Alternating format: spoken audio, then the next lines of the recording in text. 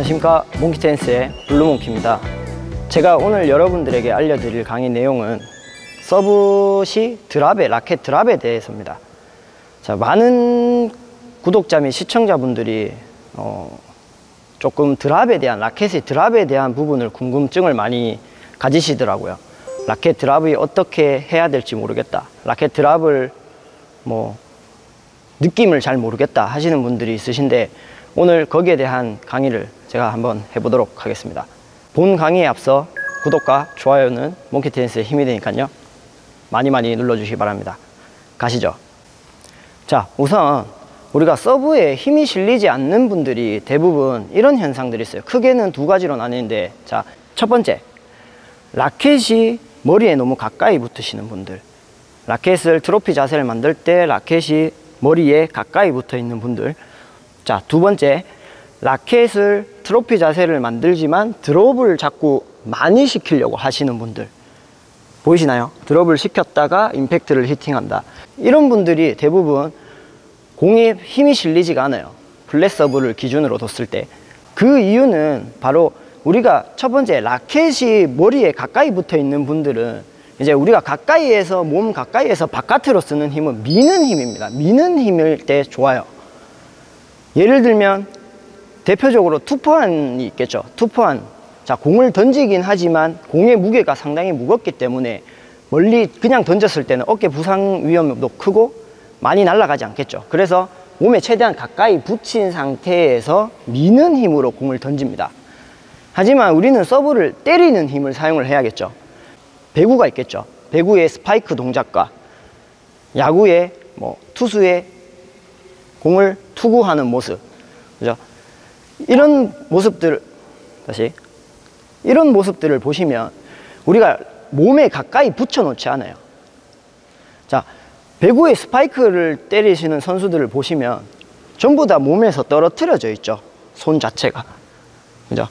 붙여 있지가 않아요.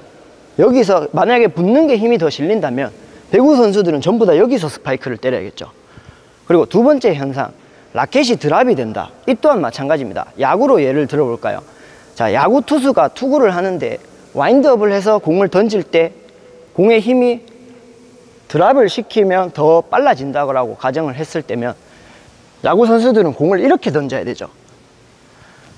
하지만 드랍이 아니라 저는 드랍이 아니라 회전이라고 말씀을 드리고 싶어요. 회전. 우리 몸에서 최대한 떨어뜨려서 스윙의 회전 반경을 넓혀준다. 회전을 중점으로 두셔야 된다는 거예요. 많은 분들이 착각하시는 게 우리가 여기서 스윙이 나갈 때 12시 방에 팔이 이렇게 붙는다라고 생각을 하시지만 붙지 않아요. 우리가 거의 대부분 저 같은 경우는 왼손잡이 기준 11시 방향에서 스윙이 이렇게 바깥으로 돌아요.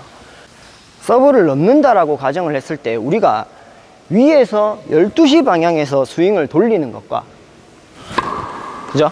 우리가 11시 방향 오른손잡이 기준은 1시 방향이겠죠.